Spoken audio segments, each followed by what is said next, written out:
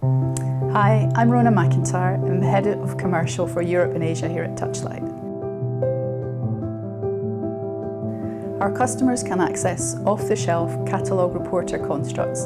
These are a great way to have a quick, low-cost look at how Doggybone performs in your system. We have catalogue products for use in AAV, Lenti, gene editing and non-viral gene therapy. Then, when you're ready for a custom manufacture, we can provide research, smart GMP and GMP grade material from milligrams to gram scale. Lead time to start is typically a few weeks and the production process itself is only five days as we don't need to do strain development, purification development or cell banking. The time to GMP can therefore be cut significantly. The process is ideal for those complex sequences where E. coli may struggle, such as long poly A tails and ITRs.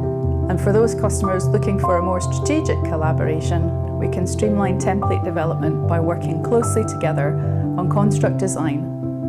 We can plan capacity to ensure material is available when you need it at the quality you need.